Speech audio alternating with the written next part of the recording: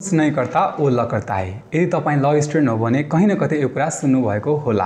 हाम्रो समाजमा एउटा जनरल पर्सेप्सन के रहेको छ भन्दाखेरि कोही पनि व्यक्तिले ल पढिसकेपछि ऊ एउटा वकिल बन्छ दुई चारवटा शब्द झुटो बोल्छ अदालतमा यसरी नै उनीहरूले जीवन गुजरा गर्छन् ब्ल्याकलाई व्हाइट र व्हाइटलाई ब्ल्याकमा कन्भर्ट गर्छन्। र हाम्रो ट्रेडिसन सोसाइटीमा एउटा वकिललाई बोकाको रूपमा पनि चित्रण गरिएको पाइन्छ। नमस्कार यस भिडियोमा हामीले ल ग्रेजुएट्सले ल पढिसके पश्चात वकिल र जज बाहेक अन्य कुन कुन फिल्डमा चाहिँ आफ्नो करियर सेट गर्न सक्छ भन्ने कुरामा बृहत रूपमा चर्चा गर्नेछौँ। अफकोर्स कुनै पनि एउटा ल ग्रेजुएट्सले ल पढेपछि लिटिगेसन चाहिँ पहिलो फर्स्ट प्रायोरिटी रहेको देखिन्छ। र कुनै पनि ल ग्रेजुएट्सको फर्स्ट करियर अप्सनको रूपमा चाहिँ एउटा लिटिगेसन रहेको छ।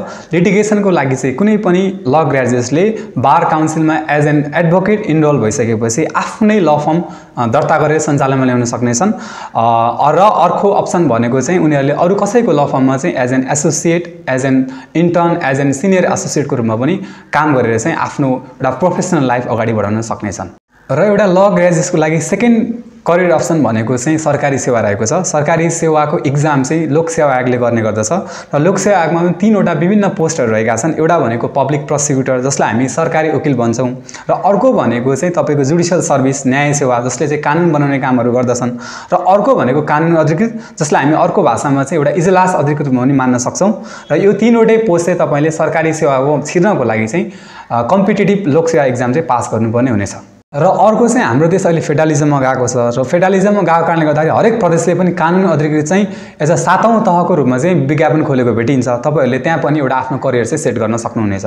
र बिसाइड द्याट यो चाहिँ मैले तपाईँलाई ल ग्रेजुएट्सको कुरा गरेँ तर तपाईँले जुन नन ग्रेजुएटेड अफिसर हुन्छ सुब्बा खर्दा चाहिँ तपाईँले ल पढ्दा पढ्दै पनि कहिले काहीँ भ्याकेन्सी खोलेको खण्डमा चाहिँ तपाईँले इन्ट्रेस्टेड हुनुहुन्छ भने चाहिँ इक्जाम दिन सक्नुहुन्छ र आफ्नो करियर सेट गर्न सक्नुहुनेछ। थर्ड करियर अप्सनमा चाहिँ एउटा लिगल एडभाइजर रहेको छ। कुनै पनि ब्याङ्क एन्ड फाइनेन्सियल इन्स्टिट्युसन कुनै पनि कम्पनी अथवा कुनै पनि इन्टरप्राइजेसले आफूलाई कुनै पनि डिस्प्युटिङ केसेसमा रिप्रेजेन्ट गर्नको लागि अथवा कुनै पनि कन्ट्र्याक्ट ड्राफ्टिङ गर्नलाई अथवा उनीहरूलाई एउटा सोल लिगल एडभाइसको लागि चाहिँ लिगल एडभाइजर पनि खोल्ने गर्दछ र त्यसमा पनि तपाईँले आफ्नो एउटा करियर चाहिँ सेट गर्न सक्नुहुनेछ। फोर्थ करियर अप्सनको रूपमा चाहिँ कम्पनी सेक्रेटरी रहेको छ। कम्पनीज एक्ट ट्वेन्टी सिक्सटी थ्रीमा चाहिँ पब्लिक कम्पनीले कम्पनी सेक्रेटरी राख्नै पर्ने व्यवस्था भएको कारणले गर्दाखेरि चाहिँ एउटा कुनै पनि कम्पनीमा माइन्युट उठाउन कन्ट्र्याक्ट ड्राफ्ट गर्न इजिएम गर्न एजिएम गर्न चाहिँ हामीलाई कम्पनी सेक्रेटरी चाहिन्छ। त्यसमा पनि तपाईँहरूले आफ्नो करियर चाहिँ सेट गर्न सक्नुहुन्छ। फिफ्थ करियर अप्सनको रूपमा चाहिँ कुनै पनि आइएनजिओ र कुनै पनि एनजिओ आइएनजिओ जस्तै युएस एड त्यसपछि युएनडिपीमा चाहिँ एज अ तपाईँको पोलिसी मेकर प्रोग्राम कोअर्डिनेटरको रूपमा पनि एउटा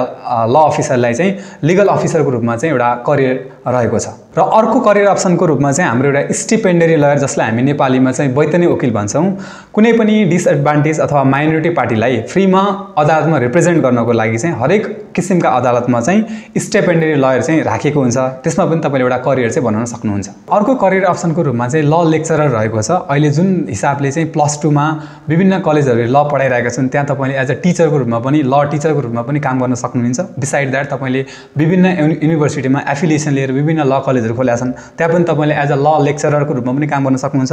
बिसाइड द्याट तपाईँले टियु केयुहरूमा पनि एउटा तपाईँको टिचिङ लाइसेन्स लिएर तपाईँले सर्भिसमा इक्जाम दिएर पनि तपाईँले पढाउन सक्नुहुन्छ। र अर्को भनेको बिबिए बिबिएस र सिएमा पनि तपाईँले बिजनेस ल र ट्याक्सेसन ल पनि पढाउन सक्नुहुन्छ। यसरी तपाईँले एउटा ल लेक्चरको रूपमा पनि आफ्नो करियर सेट गर्न सक्नुहुनेछ। अर्को हाम्रो चाहिँ करियर अप्सन रहेको छ कानुनी सल्लाहकार स्थानीय तहको कानुनी सल्लाहकारको रूपमा। र अहिले नेपालमा सात सय त्रिपन्न स्थानीय तह छ र संविधानको धारा दुई सय सत्रले पनि हरेक स्थानीय तहमा न्यायिक समिति रहनेछ भनेको छ र कुनै पनि न्यायिक समितिमा एउटा मेम्बरको रूपमा चाहिँ एउटा वकिल राख्ने प्रावधान रहेको छ।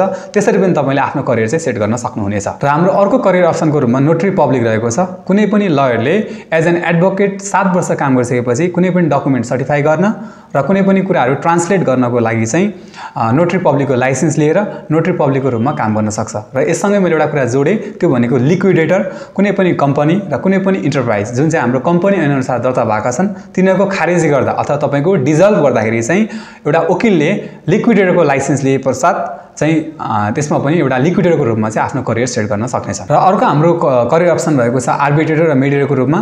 मेडिएटर हुनलाई चाहिँ तपाईँको ल पढेकै हुनुपर्छ लयर नै हुनुपर्छ भन्ने छैन तर एज अ लयर पनि तपाईँ मेडिएटरको रूपमा चाहिँ काम गर्न सक्नुहुन्छ। एउटा community based community based mediator भएर र अर्को भनेको कोर्टले रिक्वेस्ट गऱ्यो भने त्यो बेला पनि एउटा मेडिएटरको रूपमा चाहिँ आफ्नो एउटा करियर सेट गर्न सक्नुहुन्छ।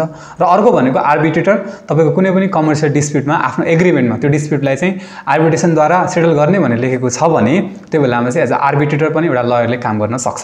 अर्को हाम्रो एउटा करियर अप्सनको रूपमा चाहिँ लिगल जर्नलिजम रहेको छ। कुनै पनि डिजिटल मिडिया कुनै पनि न्युज पेपर होइन कुनै पनि एउटा नेसनल टिभी न्युज पेपरहरूमा चाहिँ लिगल एफेयरलाई कभर गर्नको लागि चाहिँ लिगल जर्नलिस्ट खोज्छ जसमा चाहिँ तपाईँले आफ्नो करियर सेट गर्न सक्नुहुन्छ। अर्को हाम्रो एउटा करियर अप्सन रहेको छ त्यो भनेको जज one of the most prestigious र one of the most reputed job एउटा लज ग्रेजुएटको लागि।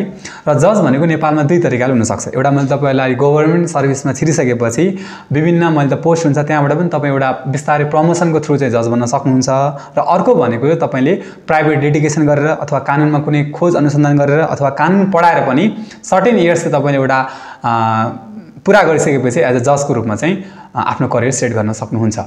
करियर अप्सन रहेको छ। त्यो भनेको चाहिँ गभर्मेन्ट इन्स ओन इन्स्टिट्युसन जस्तै नेपाल राष्ट्र ब्याङ्क नागरिक लगानी कोष सेक्युरिटिज बोर्डहरूमा पनि तपाईँले एज अ लिगल एडभाइजरको रूपमा चाहिँ काम गर्न सक्नुहुन्छ। त्यसै पनि आफ्नो करियर चाहिँ सेट गर्न सक्नुहुनेछ। लास्ट बट नट लिस्ट तपाईँलाई मैले सोह्रवटा करियर अप्सनको बारेमा भने अब सत्रौँ नम्बरमा चाहिँ एउटा भलिन्टियर रहेको छ। एज अ युट्युबर अथवा एउटा digital marketer as a blog राइटरको रूपमा पनि तपाईँले आफ्नो करियर चाहिँ सेट गर्न सक्नुहुनेछ। जुन मैले गरिरहेको छु। एउटा लास्ट कुरा चाहिँ मैले छुट्याउनु नआउने भनेको तपाईँहरूले यत्रो करियर भनिस् तैँले होइन?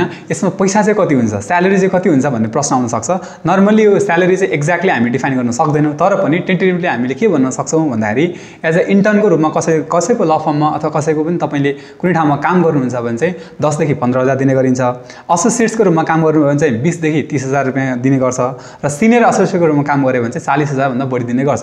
त्यो पनि तपाईँ डिपेन्डिङ अपन यो वर्क स्किल र तपाईँको एक्सपिरियन्स अनुसार फरक पर्छ र अर्को सरकारीमा चाहिँ तपाईँलाई थाहै छ एउटा अधिकृत तलब अहिले फोर्टी फाइभ थाउजन्ड रहेको छ त्योभन्दा बढी तपाईँ उपसचिव सहसचिव हुनु भने त्यही अनुसार स्यालेरी पनि इन्क्रिज हुन्छ। र एनजिओमा चाहिँ तपाईँले एज अ लिगल अफिसरको रूपमा काम गर्नुहुन्छ भने फोर्टी थाउजन्ड अब चाहिँ स्यालेरी जनरली रहेको छ। र यो भन्दै गर्दाखेरि तपाईँलाई मैले एउटा कुरा प्रश्न के पार्नुपर्छ भन्दाखेरि कुनै पनि मान्छेको स्किल कुनै पनि मान्छेको एक्सपिरियन्स र कुनै पनि कम्पनीको तपाईँको स्ट्याटस अथवा आइएनजीको कल्चर अनुसार चाहिँ यो स्यालेरी चाहिँ रेन्ज गर्छ। फेरि यति भनेर यति नै पाएन भने भविष्य मलाई गाली चाहिँ नगर्नु होला। र यति भन्दै आजको भिडियो भिडियोलाई चाहिँ म यहीँ अन्त्य गर्न चाहन्छु। र जाँदा जाँदै र आजको भिडियोबाट चाहिँ तपाईँले ल पढेपछि के गर्छस् भन्दाखेरि चाहिँ एउटा वकिल र न्यायाधीश बाहेक अन्य के के गर्न सकिँदैछ मैले तपाईँलाई सत्रवटा करियर अप्सन दिएको थिएँ त्यो चाहिँ तपाईँले भन्न सक्नुहुन्छ र आफ्नो प्यारेन्ट्सलाई ल पढ्नमा मोटिभेट गर्न चाहिँ सक्नुहुन्छ। हामी भिडियोको अन्त्यतिर छौँ। तपाईँलाई यो हाम्रो भिडियो कस्तो लाग्यो कमेन्ट गर्न नबिर्सिनु होला र कुनै पनि सब्जेक्ट म्याटर कुनै पनि क्वाइरिज भयो भने त्यो पनि तपाईँले कमेन्ट सेक्सनमा चाहिँ कमेन्ट गर्नुहोला। हामी त्यसलाई एड्रेस गर्नेछौँ र जाँदा जाँदै तपाईँलाई हाम्रो च्यानल मन पऱ्यो भने तपाईँले लाइक गर्नुहोला सब्सक्राइब गर्नुहोला र बेल बटन पनि थिचिदिनु होला धन्यवाद।